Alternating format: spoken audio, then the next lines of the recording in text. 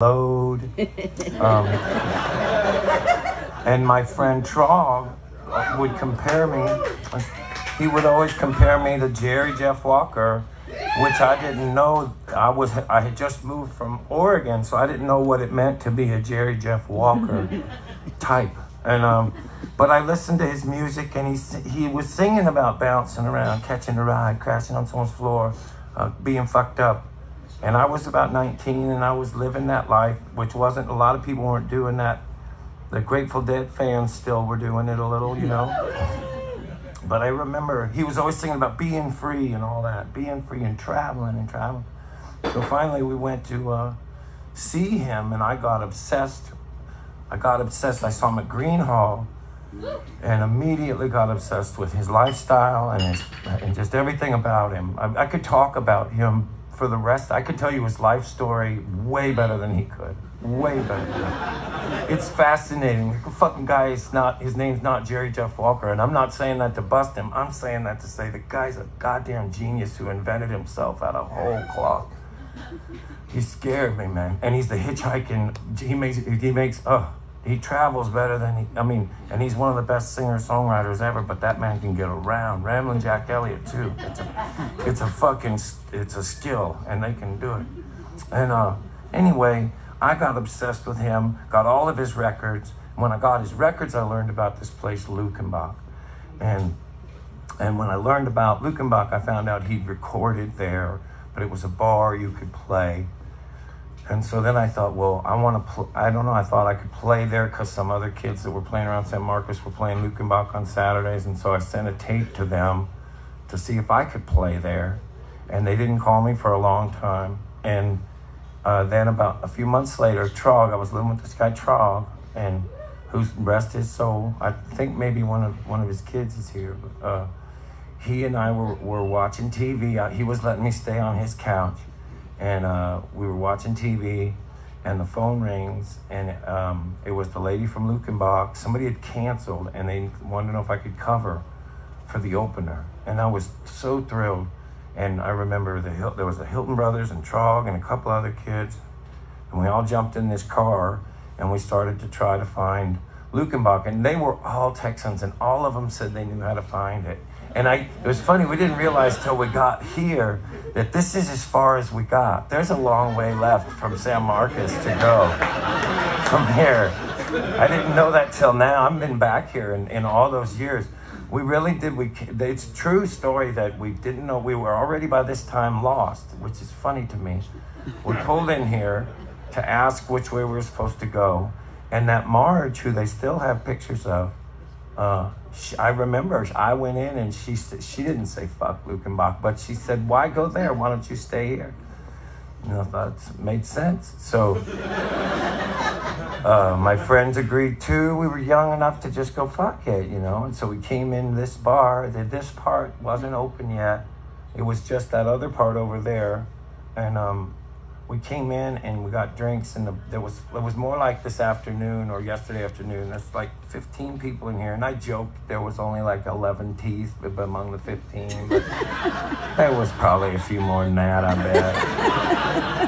And it was for me from being from oregon it was very texas and very scary-ish but not totally scary you just didn't want to say the wrong thing and then I remember that I will never forget there was a magician in there that first night, and supposedly this place is haunted. So yeah. and I found that out that night, and we we had a really good time. And by the end, we had told the the regulars there was only about 14 other people what that we that I was supposed to have played Luckenbach, and uh, they were like, "Well, get your guitar." So I got my guitar and I sang my songs, and then she didn't make me pay when we left, or my friends.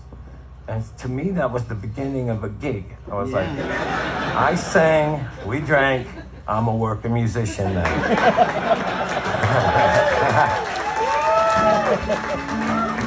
and I really, um, I really would start to go down there. And every time I did go there, she would turn that jukebox off and she would let me drink for free. And she was very sweet to me. I only went there but a handful, maybe a dozen, maybe more uh, times. Uh, and she just always was nice to me and um, kind of made me feel not like I was the best singer in the world, but like that that didn't make a fuck. It just didn't make a fuck. Do you like to sing? That's all that makes a fuck. Um, that uh, it's its own reward, and uh, I was really hungry for that theory at the time. And then I, I remember uh, Paige, uh, this girl I lived with in San Marcos, uh, broke up with me. Her life was starting to get realistic and all that. Like uh, college was almost over, you know. But I was I didn't do nothing but sing and bang around, you know.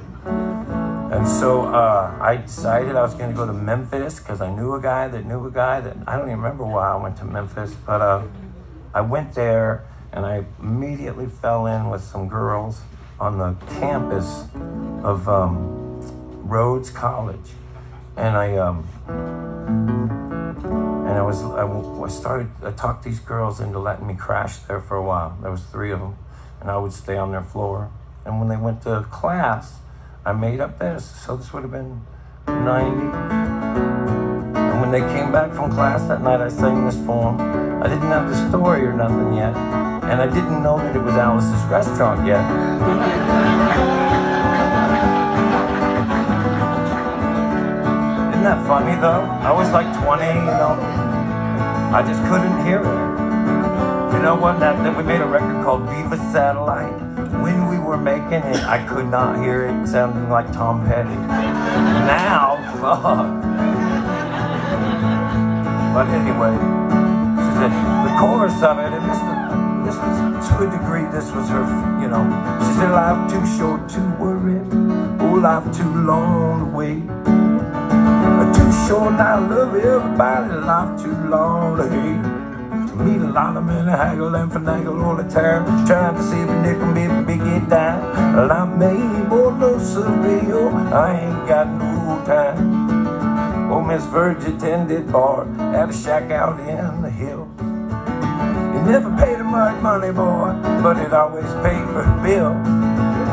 Must have been 80 years old. Her heart was warm and the beer was cold. She gave away more than she ever sold, and she was smiling all the time. I used to sing off in the corner of the place. Like every Friday night. There'd be a loud crowd of cowboys. There'd be bikers and barroom fights. They would be drinking beer. They would be carrying on. Not one of them would listen to one of my songs. But old Miss Virgie, she'd be singing along. She said she knew more by heart.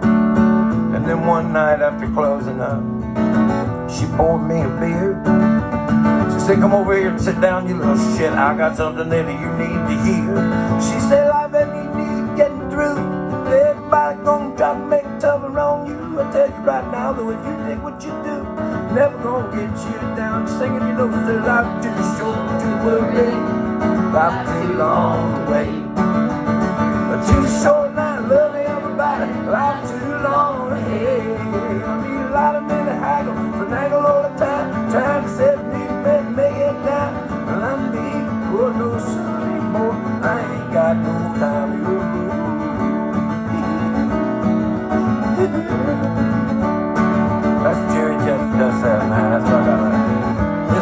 Check out this. Look out. Oh.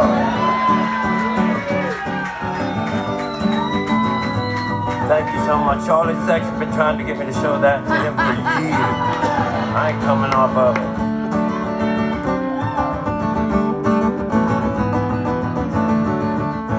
I'll tell you though in a minute, I'll tell you about that. I ain't been back to the Devil's Backbone Tavern. It has been 32 years.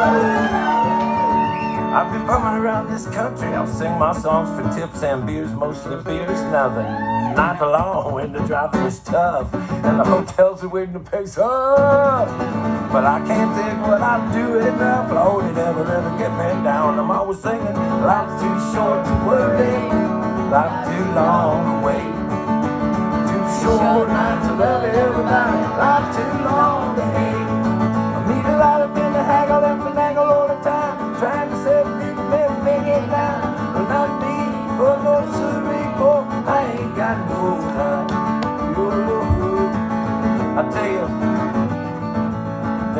Part, the reason why I put that in there, and this is true, there was, there really was this one guy that was scary and mean to me. And he really did only have a couple of teeth. and he would uh, fuck with me, and I couldn't really play the guitar. But he would say, You suck at guitar. He didn't say a whole bunch of shit about Eddie Van Halen, really. Just, just mostly that I sucked at guitar. And as I was telling that story to those girls in that dorm, it occurred to me to go. and they laughed and they laughed. Shit, I do that at the show.